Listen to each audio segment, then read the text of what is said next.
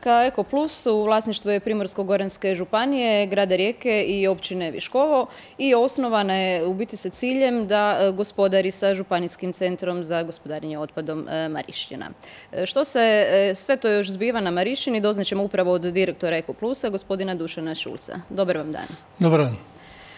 Pa može evo da još se nadovežete na ove priloge, što se to sve još trenutno događa na Marišćini, evo, a što nismo imali prilike čuti. Da, pa moram sa zadovoljstvom reći da nakon puno problema tokom izgradnje, da je pred desetak dana obavljen tehnički pregled, da su uočeni sitni nedostaci koji se mogu otkloniti i za koje je izvođač radova dobio nalog da ih otkloni čim prije, to je sve moguće otkloniti u 20 dana do mjesec dana. A u kakvim je nedostacima riječ, možete pa, To su sitni nedostaci, recimo označavanje pojedinih električnih sklopova, pojedinih hidrauličnih sklopova, nekakva brava i na nekim vratima nije bila odgovarajuća. Znači sve su to nekakvi sitni tehnički nedostaci koje je moguće vrlo brzo otkloniti. Jedan od e, bitnijih e, stvari koji su uvjet za dobivanje uporabne dozvole, to je rješenje imovinsko-pravnih odnosa.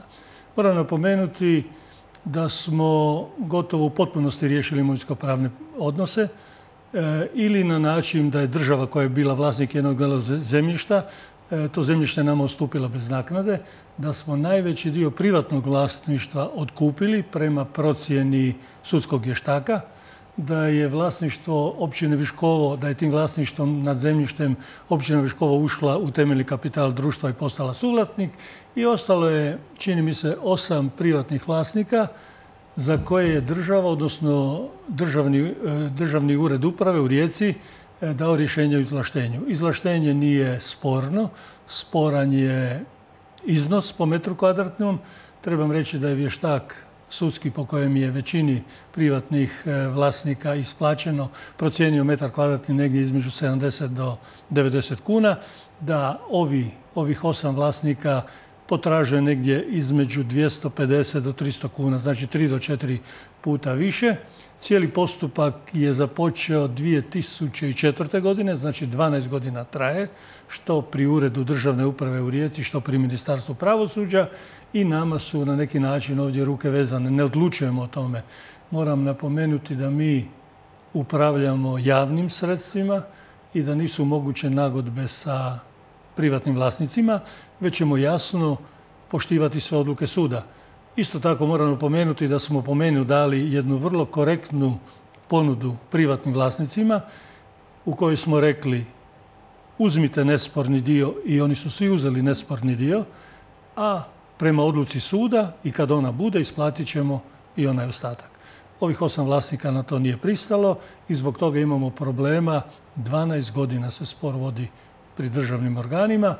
Međutim, ovaj e, projekt je od državnog značaja. Znači, postoji i drugi načini kako se imovinsko-pravni odnosi mogu riješiti i apeliramo na državne organe da u tom smislu i postupe kako cijeli projekt, vrlo skupi projekt koji čija je izgradnja trajala vrlo dugo vremena, ne bi zbog tih stvari bio u zastoju. E, o kolikom zemljištu se u stvari radi? Ukupno zemljište na kojem je županijski centar građen na kojem je predviđeno da će funkcionirati oko 42 hektara. To je 420.000 kvadrata. Radi se otprilike 40.000 kvadrata, znači nešto ispod 10%. E, dakle, e, preduvjeti za dobivanje uporabne dozvole e, su u stvari nadomak ruke. Jedino u stvari što koči je ta situacija sa, sa vlasnicima. Sa imovinsko-pravnom pripremom, ponavljam još jedan put, postupci traju 12 godina i moram napomenuti da je to vrlo loša poruka i za privatne investitore. Zamislite postupak koji traje 12 godina, bez obzira, bez obzira na njegov ishod.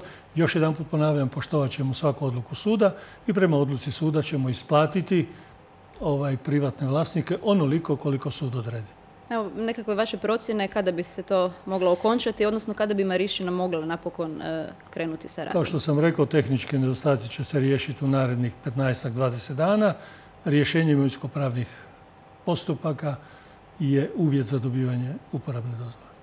E, naime, Marišina će koristiti takozvano MBO e, postrojenje, dakle mehaničko-biološku obradu otpada.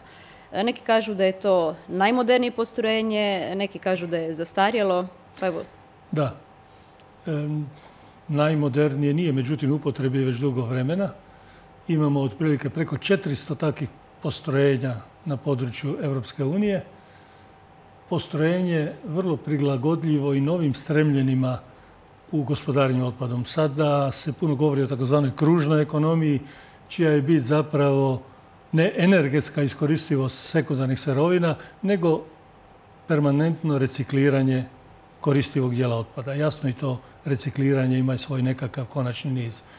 Međutim, ova mehaničko-biološka obrada je prilagodljiva i cijeli sustav integralnih gospodarenja otpadom sastoji se od primarnog dijela gdje komunalci, komunalna društva s područja Primorsko-Goranske županije prikupljaju otpad i selektivno prikupljaju otpad, odnosno e, to je takozvana primarna selekcija na mjestu nastajanja otpada, on se već selektira i koriste korisna svojstva. Prema tome, komunalci, lokalna komunalna društva mogu pojačati tu primarnu selekciju. Trenutno je ona na Primorsko-Goranskoj županiji se kreće oko 20%. Jasno u toj djelatnosti, kako ja često kažem, a mislim da imam pravo to reći jer u toj djelatnosti radim već 25-30 godina, nema neglih skokova preko noći. Primarna selekcija da, treba je stimulirati, međutim za njeno provođenje je sigurno potrebna edukacija najšireg dijela stanovništva. Potrebna je stimulacija ljudi da selektiraju, znači da plaćaju zbilja onoliko otpada koliko neselektivno odlažu i treće je kontrola. Ukoliko svi zajedno u društvu od dječjeg vrtića pa do fakulteta i cijeloživotnog obrazovanja krenemo u tu edukaciju, popratimo je sa stimulativnim ekonomskim mjerama i nekakvom kontrolom provedbe, moguće je da postignemo one rezultate koji su i europskim direktivama predviđene. E, u konačnici prepostavljam da bi to značilo i e, manje račune za same građane. E, tako je. To je ta ekonomska stimulacija o kojoj, o kojoj govorim. Ukoliko selektiraš, platiš jednu kunu, ukoliko ne selektiraš i volumen koji se odloži je veći, platiš proporcionalno više. To je ta ekonomska stimulacija. E, što se tiče e, samih e, troškova za sam centar, kada on krene sa radom, što, kakve su projekcije, koliko će u stvari, evo može po toni otpada on iznositi? Da, trenutno se za gospodarenje otpada na području Primorsko-Goranske županije, kako koje lokalnoj samoupravi, plaća negdje do 60 eura godišnje po obitelji. Po obitelji. Ovaj ekološki način zbrinjavanja otpada će biti nešto skuplji. Maksimalno do 100 eura godišnje po obitelji. Kad to podijelimo sa 12 mjeseci, to je negdje oko 8 eura mjesečno. Moramo reći da smo u analizama koje su rađene i koje su europski konzultanti revidirali, da je po europskim kriterijima dopušteno ili priuštivo da svaka obitelj plaća do 3% svojih prihoda za zbrinjavanje otpada. U ovom slučaju i po ovoj cijeni koja sam vam rekao, to negdje iznosi za prosječan prihod jedne prosječne obitelji negdje oko 1,5%, a za obitelji sa najnižim prihodima negdje oko 2,3%. Znači, ova je cijena prošla kriterije Europske unije o priuštivosti, ekonomskoj priuštivosti takvog projekta. E, pa hoće li onda možda cijena za mještene općine Viškovo e, biti jednaka primjerice za one iz Novog Vinodolskog, sa otoka Gorskog Kotara. Da, cijeli, je, cijeli je sustav, to je sustav za cijelo područje Primorsko-Goranske županije, znači za otprilike 300 tisuća stanovnika. To je jedan sustav sa jedinstvenom cijenom. Znači, sustav se sastoji od pet pretovarnih stanica na otocima u Novom Vinodolskom i u Delnicama.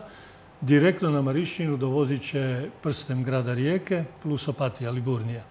Za sve će cijena biti jednaka, da li Eko Plus prihvati otpad na pretovarnoj stanici u Rabu ili bio direktno dovožen na Marišinu. To je solidarnost, solidarna cijena jednog područja, područja Primorsko-Goranske županije. Evo, e, u prilogu smo također mogli čuti da će se iz tog otpada proizvoditi gorivo, određena energija.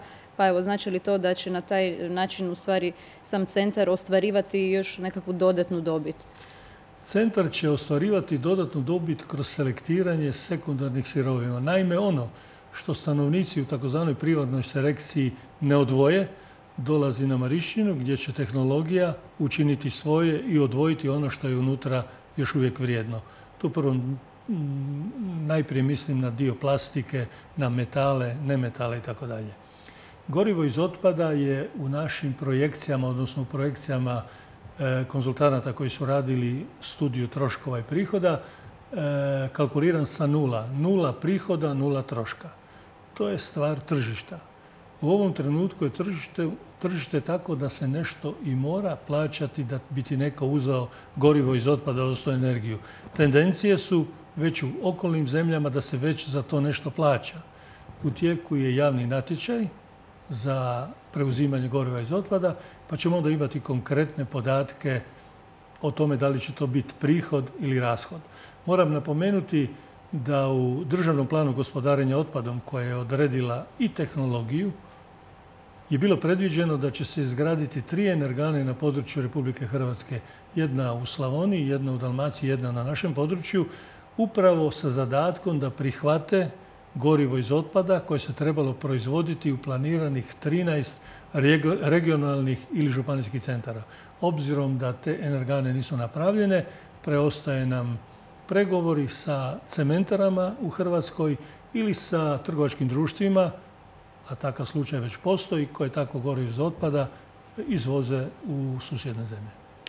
Evo moramo još jednom spomenuti da je e, projekt Marišine pilot projekt u Hrvatskoj prvi takve vrste e, kao što smo e, svih ovih godina pratili, dakle bilo je mnogo problema. E, evo i vi osobno ste bili na udaru, mogli smo i danas to čuti na, na sjednici Županijske skupštine. Naime, tražila se vaša ostavka, pa kako komentirate to? Kad bi moja ostavka riješila probleme, ja bih bez traženja dragovoljno otišao. Međutim, potrebno reći da je cijeli sustav isplanirala država kroz plan i strategiju e, gospodarenja otpadom, da je tehnologiju odredila država, da je, javni, da je država kandidirala projekt prema Europi, da je Europa prepoznala projekt i najprije odobila 8 milijuna eura, zatim 21 e, i na kraju 25 milijuna eura. Znači, bespovratnih sredstava. Cijelokupni projekt financira se sa 90% e, bespovratnih sredstava, što znači da će utoliko proporcionalno manje teretiti, teretiti cijenu koja će biti za naše građanstvo. Znači sve se odvijalo zapravo na državnom nivou i cijeli projekt ne vodi EkoPlus, nego e, vodi institucija države, to je Fond za ekologiju. Prema tome mi smo imali doduše vrlo male ingerencije u projektu. Učestvovali smo. Mi smo najzainteresiraniji da projekt bude kvalitetno realiziran jer ćemo snositi sve dobre i loše posljedice izgradnje. Međutim, nismo mogli autonomno odlučivati i kako se ono kaže, koliko prava, toliko je odgovornosti. Gospodine Čulac, hvala vam lijepa na e, gostovanju. Hvala vama i ovo na neki način razumijem, kao informiranje javnosti o cijelom projektu integralnog sustava gospodarenja otpadom. Hvala lijepo. To ćemo naravno pratiti i dalje. Sa zadovoljstvom.